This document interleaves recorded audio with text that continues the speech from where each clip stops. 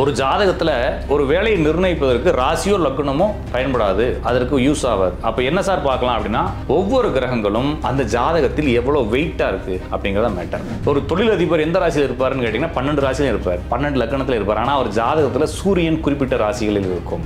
ஒரு வீட்டில் தாய் குடும்பத்தை வழிநடத்தினால் அந்த குடும்பத்தில் நிச்சயமாக அனைவரும் சொந்த தொழில் செய்வார்கள். ரொம்ப சிம்பிளான ட்ரிக் இது. கண்டிப்பாக உங்கள் ஜாதகத்தில் செவ்வாய் வக்கரமாகவோ செவ்வாய் பரிவர்த்தனையாகவோ இருந்தால் பார்ட்னர்ஷிப் தொழில் பக்கமே போகாதீங்க. இந்த செவ்வாய் தான் வந்து ஒரு மனிதனுடைய நம்பிக்கை துரோகத்தை ஏற்படுத்தி கொடுக்குறது. ஒரு ஜாதகத்தில் செவ்வாய் பவர் ஆயிருச்சு. சார் என் ஜாதகத்தில் சூரியனும் பவராக இருக்கு. செவ்வாயும் பவராக இருக்குன்னா கண்டிப்பாக ஏதோ ஒரு நண்பன் வழியாக நீங்கள் தொழில் விஷயமாக ஏமாறப் போகிறீர்கள் நடக்கும்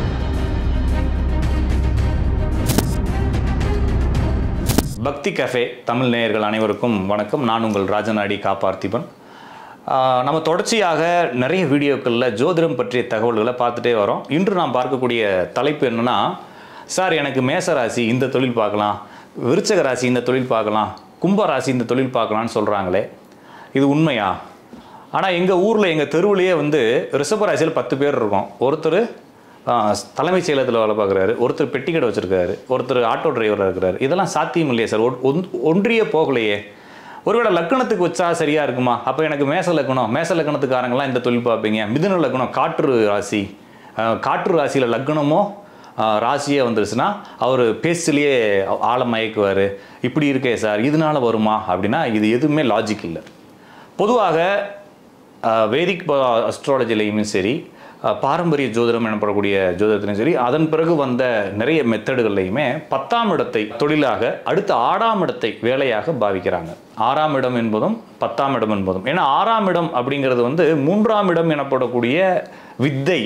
வித்தைகளை கற்கக்கூடியதை பிரயோகிக்கக்கூடிய இடம் ஆறு. அப்போ நம்ம இத்தனை நாள் இந்த உலகத்தில் கற்கக்கூடிய கல்விகளில் டுவெல்த் வரைக்கும் இருக்கிறது எஜுகேஷனல் குவாலிஃபிகேஷன் அதுக்கப்புறம் படிக்கிறதுலாம் டெக்னிக்கல் குவாலிஃபிகேஷன்றது போல் எல்லாமே இந்த வேலை செய்வதற்காகவும் ஜீவனம் செய்வதற்காகவும் தான் படிக்கிறோம் அப்படிங்கிற அடிப்படையில் அதனுடைய அவுட்புட்டான ஆறாம் இடம் அதாவது ரெண்டுமே புதனுடைய வீடு. மேசர காலப்புருஷ தத்துவத்தில் மேச லக்கணத்தை வந்து எண்ணும்பொழுது ரெண்டுமே புதனுடைய வீடு. அப்போ புதன் கற்றுக்கொள்வதும் அடுத்த புதன் வந்து பிரயோகிப்பதும் என்ற அடிப்படையில் ஆறாம் இடத்தை வந்து தொழிலாக பாவிக்கிறார்கள். அதுக்கடுத்து பத்தாம் இடத்தையும் கர்மஸ்தானத்தையும் தொழிலாக பாவிக்கிறார்கள். இதில் ரெண்டுமே வந்து வெவ்வேறு கோணத்தை நம்ம பார்க்க வேண்டியது இருந்தாலும் இதெல்லாம் நீங்கள் போட்டு குழப்பவே தேவையில்லை. ஒரு ஜாதகத்தில் ஒரு வேலையை நிர்ணயிப்பதற்கு ராசியோ லக்னமோ பயன்படாது. அதற்கு யூஸ் ஆகாது. அப்போ என்ன சார் பார்க்கலாம் அப்படின்னா ஒவ்வொரு கிரகங்களும் அந்த ஜாதகத்தில் எவ்வளோ வெயிட்டாக இருக்குது அப்படிங்கிறத மேட்டர் இப்போ உதாரணத்துக்கு பரிவர்த்தனை அப்படிங்கிறது ஒரு வெயிட் வக்ரம் அப்படிங்கிறது ஒரு வெயிட் ஒரு ஜாதகத்தில் புதன் வக்ரமாக இருக்கு சார் இல்லைனா புதன் பரிவர்த்தனையாக இருக்குது அப்படின்னா அவங்க வீட்டில் தண்ணீர் சம்பந்தமான லிக்யூடு பிசுபிசுப்பு அப்போ பெயிண்ட்டு பிசுபிசுப்பு சிமெண்ட்டு பிசுபிசுப்பு தண்ணி oil ball liquid petroleum gas and oil அதுக்கப்புறமா வந்து மருந்து டாக்டர்ஸு இவங்க வா இவங்களுடைய எல்லா ஜாதகத்திலையும் புதன் பரிவர்த்தனையாகவோ வக்கரமாகவோ இருக்கும். சார் இவங்களுக்கு மட்டும்தான் இருக்குமா? அப்படின்னா இவங்க குடும்பத்தில் எல்லாத்துக்கும் இருக்கும். அப்போ இதுபோல் சுக்கரன் வக்ரம் பரிவர்த்தனையாக இருக்கிறவங்க ஆடம்பரமாக பணம் சம்பந்தமான வேலைகளை செய்வார்கள். இதை நீங்கள் புரிஞ்சுக்கணும். அதுக்கடுத்து செவ்வாய் பரிவர்த்தனை அல்லது செவ்வாய் வக்கரமாக இருக்கவங்க எலக்ட்ரிசிட்டி வீடு கட்டி கொடுக்கறது மெடிக்கல் சம்மந்தமானது பிளம்பிங் இந்த வீடு சம்மந்தமான கிரில் ஒர்க் பண்ணுறவங்க இவங்கெல்லாம் இருப்பாங்க. அப்போ வெறுமனே ராசியை வை- வைத்து ஒரு மனிதனுடைய தொழிலை அனுமானிக்கவே முடியாது. பொதுவாக இதை ஜோசியர்கள் சொல்கிறாங்க எல்லா ஜோசியர்களும் மக்களை கவருவதற்காக இந்த ராசி பலன் சொல்கிறது மாதிரி ராசியை வச்சு இந்த தொழில் செய்வாங்க. அதெல்லாம் சொல்கிறாங்க இதில் காம்பினேஷன் நிறைய இருக்குங்க. ஒரு ஜாதகத்தில் செவ்வாயும் சந்திரனும் சேர்ந்துருக்கு ஒரே ராசியில் அல்லது செவ்வாய் இருக்கக்கூடிய ராசிக்கு ஒன்று ஐந்து ஏழு ஒம்போதில் சந்திரன் இருக்குது அப்படின்னா அவங்க வீட்டில் கண்டிப்பாக அவரோ அவங்க வீட்டிலேயோ transport food manufacturing and medical இந்த மூன்று துறைகளில் ஏதாச்சும் ஒரு துறைகளுக்கு வந்துடுவாங்க அதே மாதிரி குருவும் சனி இருக்குது அப்படின்னா லேண்டு டாக்குமெண்டேஷன் அட்வைஸ் கொடுக்கக்கூடியது ஏஜென்சிஸ் நடத்துறதுக்கு வந்துடுவாங்க அதே போல் சுக்கரனும் சந்திரனும் நம்ம போன வீடியோக்குள்ளே பேசுறது போல் டீச்சிங் லைன் டெக்ஸ்டைல் லைன் வீடு கட்டி கொடுக்கக்கூடிய துறைகளுக்கு வந்துருவாங்க.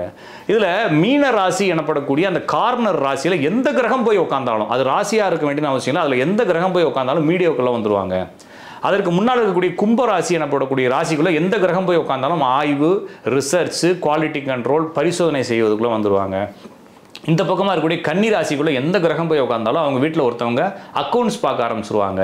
துலாம் ராசியில் எந்த கிரகங்கள் போய் உட்காந்தாலும் அவங்க வீட்டில் யாராச்சும் ஒருத்தவங்களாச்சும் மார்க்கெட்டிங் பண்ண ஆரம்பிச்சிருவாங்க. இதுபோல் இந்த கிரகங்கள் மல்டிப்புளாக ஹேண்டில் பண்ணணும். இதெல்லாம் எப்படி சார் ஹேண்டில் பண்ணுறது ரொம்ப சுற்றி சுற்றி சொல்கிறீங்களே சார் அப்படின்னா எல்லாமே ஒரே லாஜிக் தான். நீங்கள் செய்ய வேண்டியது ஒரு கிரகம் பலம் அடையுதான்னு பார்க்க வேண்டும். அந்த பலம் அடைஞ்ச கிரகத்தினுடைய ஒவ்வொரு கிரகத்துக்கும் ஒவ்வொரு தொழில் காரகங்கள் இருக்குது உதாரணமாக ஒரு ஜாதகத்தில் சூரியன் பவர் ஆயிடுச்சு சார் சூரியன் பவர் ஆயிடுச்சுன்னு நீங்கள் பாட்டுக்கு சொல்லாதீங்க சார் எப்படி சார் கண்டுபிடிக்கிறது ஒரு ஜாதகத்தில் அப்படின்னா ஜாதகத்தை எடுங்க. அதில் மேசராசி சிம்மராசி துளாராசி கும்பராசியில் சூரியன் இருந்தால். சார் இதெல்லாம் எனக்கு தெரில சார். நீங்கள் சொல்கிற ராசிலாம் தெரில சார். சரி விடுங்க. சித்திரை மாதம் ஆவணி மாதம் ஐப்பசி மாதம் மாசி மாதம் நீங்கள் பிறந்திருந்தீங்க அப்படின்னா இந்த ராசிகளில் தான் சூரியன் இருக்கும். இந்த ராசிகளில் சூரியன் இருப்பவர்களுடைய குடும்பத்தில் அரசு தொழில் அல்லது சொந்த தொழில் செய்து விடுவார்கள். இவருமே ஃப்யூச்சரில் அரசு தொழில் சொந்த தொழிலுக்கும் நோக்கி நகர்ந்துருவார். சார் இது எப்படி கண்டுபிடிக்கிறது அப்படின்னா அவங்க வீட்டில் அவங்க அப்பானால யூஸ் இருக்காது. இவருக்குமே வந்து பல்லில் பிரச்சனை வரும் கண்ணில் பிரச்சனை வரும். அவங்க அம்மா தான் குடும்பத்தை வழி நடத்துவாங்க. அப்போ இவ்வளோ ஜாதத்தை ஜாதகத்தை பார்க்காமையே அவங்களுடைய லைஃப்பை பார்த்தே நம்ம பலன் சொல்லிட்டு போகலாம் அப்போ இந்த இடத்துல சூரியன் பவர் ஆயிடுச்சு இல்லைங்களா? அவள் சூரியன் பவர் ஆச்சுன்னா சூரியனுடைய பண்பு என்னன்னா தலைமை தாங்கக்கூடிய பண்பு.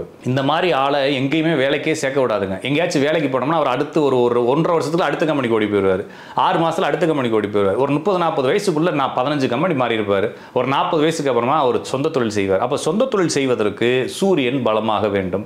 நீங்கள் பன்னெண்டு ராசியில் எந்த ராசியாக வேணாலும் இருக்கலாம். நான் சொல்கிறது புரிஞ்சது தானே? இப்போ ஒரு ஒரு தொழிலதிபர் எந்த ராசியில் இருப்பாருன்னு கேட்டிங்கன்னா பன்னெண்டு ராசியில் இருப்பார். பன்னெண்டு லக்கணத்தில் இருப்பார். ஆனால் அவர் ஜாதகத்தில் சூரியன் குறிப்பிட்ட ராசிகளில் இருக்கும். ஒரு வீட்டில் தாய் குடும்பத்தை வழிநடத்தினால் அந்த குடும்பத்தில் நிச்சயமாக அனைவரும் சொந்த தொழில் செய்வார்கள். ரொம்ப சிம்பிளான ட்ரிக் இது. ஒரு ஜாத ஒரு ஜா ஒரு வீட்டை பார்க்குறீங்க அந்த வீட்டில் அம்மா தான் குடும்பத்தை ஹேண்டில் பண்ணுறாங்க அப்படின்னா கண்டிப்பாக அந்த வீட்டில் எல்லாருமே ஒரு டயத்தில் ஒரு நாற்பது வயசு அந்த ரேஞ்சு முப்பது முப்பத்தஞ்சு வயசுக்கு மேலே பிஸ்னஸுக்குள்ளே வந்துடுறாங்க. அதே போல் சந்திரன் பலமாக இருக்குது சார். சந்திரன் சில ராசிகள் இருக்குது சார். சந்திரன் சூரியனுக்கு ஏழுலையோ சூரியனுக்கு அஞ்சுலையோ சூரியனுக்கு ஒம்போதுலையோ வந்து சந்திரன் இருக்குது சார். மே ரிஷபராசிலேயோ கடகராசிலேயோ கடக மகர ராசிலேயோ விருச்சக ராசிலேயோ சந்திரன் இருக்குது சார். அப்படின்னா இவங்க வந்து கண்டிப்பாக நீர்மம் தொ- தொடர்பான பணிகள் நகர்ந்துக்கிட்டே இருக்கக்கூடிய பணிகள் டெய்லி காலியாகிக்கிட்டே இருக்கக்கூடிய பணிகள் சொல்லி சொல்லிக் கொடுக்கறது படம் எடுக்கிறது விசன் டெலிவிஷன் ஐடி ஐடி ஃபீல்டில் இருக்கவங்க ஃபுல்லாக சந்திரன் அதிகாரமானவங்க. சார் இவங்களை எப்படி சார் கண்டுபிடிக்கிறது? அப்படின்னா இவங்க வீட்லேயுமே இவங்க அம்மா பவராக இருப்பாங்க. இவங்க அம்மாவுக்கும் இந்த பையனுக்கும் இந்த பொண்ணுக்கும் டெய்லி சண்டை வந்துகிட்டே இருக்கும். இது மாதிரி இருக்கவங்களுக்கு சந்திரன் பவராக இருக்குன்னு அர்த்தம். இதெல்லாம் வந்து இந்த சந்திரன் ரிலேட்டடான தொழில்கள். அடுத்து புதன் அப்படிங்கிறப்ப வந்து எலக்ட்ரானிக்ஸு வீடு சம்பந்தமான பணிகள் வீடு உபயோகப் பொருட்கள் சொல்லித்தரது டாக்குமெண்ட்டு எழுதுறது இது எல்லாமே வந்து புதன். அப்போ புதன் வந்து நாலு கார்னரில் ஏதாச்சும் ஜாதகத்தை திறக்கிறீங்க நாலு கார்னரில் ஏதாச்சும் ஒரு கார்னரில் புதன் இருக்குது அப்படின்னா அவங்க ஜாதகத்தில் புதன் பவர் ஆயிடுச்சுன்னு அர்த்தம். அப்போ புதன் பவர் ஆயிடுச்சுன்னா அவங்க வீட்டில் லேண்டு சம்மந்தமானது டாக்குமெண்ட் சம்மந்தமானது எலக்ட்ரிக் அண்ட் எலக்ட்ரானிக்ஸ் இது சம்மந்தமான வேலைகளை பார்ப்பாங்க. சுக்கரன் பலமாக இருந்தால் சுக்கரன்றது வந்து செல்வம் ஆடம்பரம் பகட்டு விளம்பரங்கள் இதெல்லாம் வருது இல்லைங்களா? அப்போ ஒரு ஜாதத்தில் சுக்கிரன் பவர் இருந்தால் சுக்கிரன் எங்கே சார் பவர் ஆகும்? மேச ராசியில் ரிஷப ராசியில் விருச்சக ராசியில் துலாம் ராசியில் கன்னியிலையும் மீனத்துலையும் ஒரு ஜாதகத்தில் சுக்கிரன் இருந்தால் அந்த சுக்கிரன் பலமாயிருச்சுன்னு அர்த்தம். இல்லை சார் எனக்கு இந்த ராசிகளில் இல்லை அப்படின்னா சுக்கரன் வக்கரமாக இருந்தாலோ சுக்கிரன் பரிவர்த்தனை ஆனதாலோ பலன். இந்த மாதிரி இருக்கக்கூடிய ஸ்டேட்டஸ் வரும்போது அந்த ஜாதகர்கள் சுக்கரன் சம்பந்தமான வேலையை பார்ப்பார்கள். சார் நீங்கள் சொல்கிறது எல்லாமே சரி தான் சார். எனக்கு சந்திரனும் நல்லா இருக்குது சூரியனும் பவராக இருக்குது சுக்கிரனும் பவராக இருக்குது நான் இதில் எந்த தொழில் சார் பண்ணுவேன் அப்படின்னா நீங்கள் நடக்கக்கூடிய தசாபுத்திகளை பாருங்கள். உங்களுடைய தசாபுத்திகள் என்ன தசாபுத்தி நடக்குதோ அந்த தசாபுத்தியினுடைய அந்த கிரகத்தினுடைய காரகங்கள் தொடர்பான தொழில்களை அந்த தசாபுத்தி முடியக்கூடிய அந்த சகாப்தம் வரைக்கும் செய்வீங்க. இதை நீங்கள் புரிஞ்சுக்கோங்க. அப்போ வெறும் ராசியையோ வெறும் லக்னத்தையோ அல்லது பொதுவான தகவல்களை வைத்து ஒரு மனிதனுடைய தொழிலை நம்மளால் நிர்ணயிக்க முடியாது. ஒரு ஜாதத்தை திறந்தோடனே அந்த ஜாதத்தில் என்னென்ன கிரகங்கள் என்னென்ன கிரகங்கள் பவராக இருக்கோ அந்த கிரகங்களுடைய காரகங்கள் வலிமை பெற்று அந்த கிரகத்தினுடைய வேலைகளை கொடுக்கும். இது ஒரு லாஜிக் இன்னொரு லாஜிக் சனியை வந்து வேலைக்கான காரகங்களாக கர்ம காரகனாக ஜோதிடத்துறை பார்க்குது. சனி இருக்கக்கூடிய ராசியில் அல்லது சனி இருக்கக்கூடிய ஐந்தாவது ராசியில் அல்லது சனி இருக்கக்கூடிய ராசியிலேருந்து ஒன்பதாவது ராசி ஏழாவது ராசியில் என்ன கிரகம் இருக்குன்னு ஒரு ஜாதகத்தில் பாருங்கள் அந்த கிரகத்தினுடைய காரகத்தினுடைய தொழிலை இந்த ஜாதகர் வாழ்க்கை முழுவதும் மாறி மாறி செய்து கொண்டிருப்பார். இது ஒரு லாஜிக் இது ஈஸியான லாஜிக் இந்த ரெண்டு லாஜிக் தான் வந்து பார்க்க வேண்டியதை தவிர வெறுமனே நீ மேசராசிக்காரன் இந்த தொழில் பண்ணுவ ரிஷபராசிக்காரன் அதுலேயும் குறிப்பாக நட்சத்திரத்தெல்லாம் சொல்லுவாங்க அஸ்வினி நட்சத்திரக்காரங்க இது பரணி நட்சத்திரக்காரங்க இதுன்னு அதெல்லாம் சும்மா அதாவது மக்களை கவருவதற்காகத்தானே தவிர டெக்னிக்கலாக பேசணும் அப்படின்னா ஜோதிட ரீதியாக பேசணும்னா எல்லா கிரகங்களையும் நாம் பார்க்க வேண்டும். அதில் எந்த கிரகம்? அதைத்தான் என்ன சொல்கிறாங்கன்னா பலம்னு சொல்கிறாங்க பல நிர்ணயம் சொல்கிறாங்க நைசர்கிக பலத்தில் ஒவ்வொரு கிரகங்களும் எவ்வளோ வெயிட்டேஜ் இருக்குது திருக்கு பலம் எடுக்கிறாங்க திக்கு பலம் எடுக்கிறாங்க கால பலம் எடுக்கிறாங்க.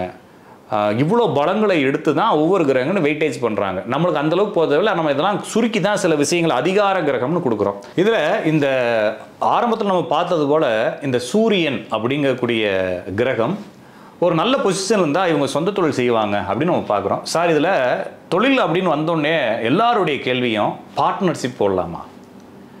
பார்ட்னர்ஷிப்போட ஜெயிச்சுருவோமா? அப்படின்னா கண்டிப்பாக உங்கள் ஜாதகத்தில் செவ்வாய் வக்கரமாகவோ செவ்வாய் பரிவர்த்தனையாகவோ இருந்தால் பார்ட்னர்ஷிப் தொழில் பக்கமே போகாதீங்க. அதே போல் செவ்வாய் மேசராசி விருச்சக ராசி ரிஷபராசி ராசி ராசி கடகம் மகரம் இந்த ராசிகளில் செவ்வாய் இருந்தாலும் நீங்கள் பார்ட்னர்ஷிப் தொழில் பக்கமே போகக்கூடாது. சார் போனால் என்ன ஆகும் அப்படின்னா சார் எனக்கு ரொம்ப நெருங்கின நண்பன் என்னுடைய உயிர் அந்த பையன்தான். எனக்கு உயிரே போனால் கூட பரவாயில்ல என் நண்பனை விட முடியாது அப்படின்லாம் நீங்கள் பேசின நீங்கள் ஒரு அஞ்சு வருஷம் ஆறு வருஷத்தில் அவரை பகையாக்குவீங்க. நிறைய லாஸுகளை ஏற்படுத்திக்குவீங்க. இந்த செவ்வாய் தான் வந்து ஒரு மனிதனுடைய நம்பிக்கை துரோகத்தை ஏற்படுத்தி கொடுக்குறது. ஒரு ஜாதகத்தில் செவ்வாய் பவர் ஆயிருச்சு. சார் என் ஜாதகத்தில் சூரியனும் பவராக இருக்குது செவ்வாயும் பவராக இருக்குன்னா கண்டிப்பாக ஏதோ ஒரு நண்பன் வழியாக நீங்கள் தொழில் விஷயமாக ஏமாறப் போகிறீர்கள்னு அர்த்தம். அப்போ நீங்கள் கவனமாக இருக்க வேண்டியது என்னதுங்க? தொழில் விஷயத்துக்குள் நண்பனை விடக்கூடாது. நீங்கள் மட்டுமே செஞ்சீங்கன்னா மெது மெதுவாக க்ரோத் ஆகி வந்துடுவீங்க இதில் நிறைய பேர் பார்த்தீங்க அப்படின்னா சார் எங்களுடைய பூர்வீக தொழிலை எடுத்து செய்யலாமா?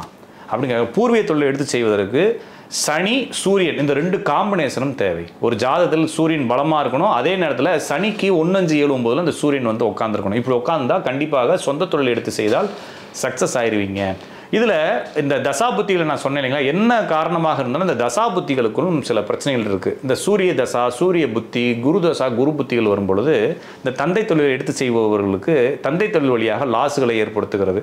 மற்ற தசாபுத்திகளில் பெருசாக லாஸுகள் இல்லை.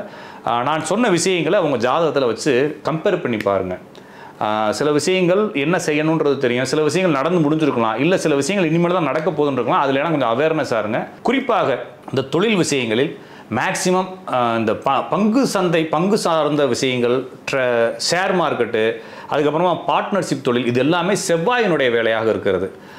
செவ்வாய் உங்கள் ஜாதகத்தில் நான் சொன்ன ராசிகளில் குறிப்பாக வக்ரம் பரிவர்த்தனையாக இருந்தால் share market trading forex trading அதுக்கப்புறமா வந்து இந்த பங்கு சந்தை பார்ட்னர்ஷிப் பிஸ்னஸ் இதுக்குள்ளெல்லாம் போகாதீங்க. கண்டிப்பாக அதில் ஆரம்பத்தில் நல்லா இருந்தாலும் ஃப்யூச்சரில் ஏதாவது ஒரு லாஸையும் நம்பிக்கை துரோகத்தையும் ஏற்படுத்திடும். அதே மாதிரி இந்த மாதிரி நபர்கள் யாருக்கும் சூருட்டி போடாதீங்க. உங்களுடைய தொழில் ரீதியாக உங்களுடைய தொழில் சம்பந்தமாக உங்களுடைய அசட்டுகளை வச்சு சூருட்டியும் போடாதீங்க. இப்போ நம்ம பேசியிருக்கிறது வந்து கிரகங்களை வச்சு பேசியிருக்கோம். இருக்கோம் சார் சில ஜோசியர்கிட்ட போனால் இரும்பு சம்மந்தப்பட்ட தொழில் செய்யணும். நீர் சார்ந்த தொழில் காகித தொழில் எழுத்து வேலை இப்படின்னு சொல்லுவாங்க. நம்ம ஆளுங்க வந்து அவர் ஒன்று சொல்லி இவர் ஒன்று கற்பனை பண்ணிக்குவார். கற்பனை பண்ணிவிட்டு ஆழமாக போய் கால் வச்சிருவாரு. இது மாதிரி பொதுவான பலன்களை கேட்க தேவையில்லை. சார் நான் இந்த மாதிரி துறையில் போகலான்னா அந்த துறைகளை இன்னும் கொஞ்சம் டெஃபினேஷன் கேட்கலாம் ஜோசியர்கிட்ட. இரும்பு சம்மந்தப்பட்ட தொழில்னா என்ன இரும்பு சம்மந்தப்பட்ட தொழில்? இப்போ சனியும் செவ்வாயும் ஒரு ஜாதத்தில் சேர்ந்துருக்குது. அவர் என்ன இரும்பு சம்மந்தப்பட்ட தொழில் செய்வார்னா இயந்திரங்களை உற்பத்தி செய்வார் இயந்திரங்களை விற்பனை செய்வார் ஆட்டோமொபைலில் இருப்பார். சரிங்களா? இதே இது ஒருத்தருக்கு சூரியனும் சனியும் சேர்ந்திருக்குது அப்படின்னா அவர் பழைய இரும்புகளை வாங்கி வைப்பார். அப்போ எந்த இரும்பை நீங்கள் கையாள போகிறீர்கள்ன்றது ரொம்ப முக்கியம். அப்போ ஒரு ஜோசியர்கிட்ட போகிறப்ப சார் நான் இந்த மாதிரி ஒரு இரும்புன்னு சொல்கிறீங்க இந்த ரெண்டில் என்ன இரும்புன்னு நீங்கள் கேட்கலாம். அல்லது இன்னும் கொஞ்சம் டெஃபினிஷன் கேட்கலாம். அல்லது உங்களுடைய கற்பனைகள் நீங்கள் கற்பனை பண்ணியிருக்கீங்க இல்லைங்களா? சார் நான் அவர் ஒன்று என்ன சொல்லுவார்னா இரும்பு சம்மந்தப்பட்ட தொழில்னு பழைய இரும்பை மனசில் வச்சுட்டு சொல்லுவார். நீங்கள் என்ன செய்வீங்க? வீடு கட்டுறதுக்கு அந்த டிஎம்டி ராடு வாங்கி வைக்கிற தொழில்னு நினைப்பீங்க. அப்போ அவர்கிட்ட நீங்கள் வெளிப்படையாக பேசலாம். என்ன பேசலாம்? சார் நான் வந்து இந்த மாதிரி பிஸ்னஸ் பண்ண போகிறேன் சூட்டபுளாக இருக்குது அப்படின்றப்ப அப்போ கம்பி வீடு கட்டுமான கம்பிகள் வந்து அது எண்ணத்தில் வந்துடுதுன்னா செவ்வாய் சந்திரன் புதனுக்குள்ளே வந்துடுது அப்போ செவ்வாய் சந்திரன் புதன் இருந்தால் தான் நீங்கள் வீடு கட்டுமான தொழில்கள் செய்ய முடியும். அதர்வைஸ் நீங்கள் என்ன செய்யலாம்? ஏதாச்சும் இரும்புகளை வாங்கி செகண்ட்ஸ் சேல் பண்ணலாம். இல்லைன்னா வந்து இண்டஸ்ட்ரீஸ் இரும்புகளை வைக்கலாம். அப்போ இரும்பு அப்படிங்கிறதுக்குள்ளே ஆயிரம் வேறுபாடுகள் இருக்கிறது. அப்போ எதாக இருந்தாலுமே கிரகங்கள் தான். அப்போ வெறும் இரும்பு அப்படின்னு சொன்னால் ஒரு இரும்பு மட்டும் இல்லைங்க. ஆயிரம் இரும்பு இருக்குது. ஒவ்வொரு கிரக கா காம்பினேஷனுக்கும் வெவ்வேறு இரும்பு சம்பந்தமான தொழில்கள் இருக்கிறதுனால பொதுவாக ஜோதிடர்கள் சொல்லக்கூடிய இரும்பு சம்பந்தமான தொழில் அப்படிங்கிறதோட நீங்கள் நிறுத்திக்காமல் உங்களுடைய ஐடியா ஏதாச்சும் இருந்துச்சுன்னா அவர்கிட்ட சொல்லி அதை நீங்கள் சரி பண்ணிக்கிறது புரிந்து கொள்வது நல்லது. இது என்ன மாதிரி இருக்குது அப்படிங்கிறது அடுத்தடுத்த வீடியோக்கள் தொடர்ந்து நம்மளே பார்க்கலாம். நீங்கள் ஜோசிடர்கிட்ட போகணுன்ற அவசியம் இல்லை. வீடியோக்கள் பார்த்தாலே உங்களுக்கே புரியும். இதுபோல் இன்னும் பல தகவல்களுடன் அடுத்தடுத்த வீடியோக்களில் சந்திக்கலாம். பக்தி கெஃபே தமிழ் நேயர்கள் அனைவருக்கும் நன்றி. இந்த வீடியோ உங்களுக்கு பிடிச்சிருந்தா லைக் பண்ணுங்க ஷேர் பண்ணுங்க கமெண்ட் பண்ணுங்க. மறக்காம பெல் பட்டனை கிளிக் பண்ணிட்டு பக்தி கஃபே தமிழ் சேனலை சப்ஸ்கிரைப் பண்ணிடுங்க.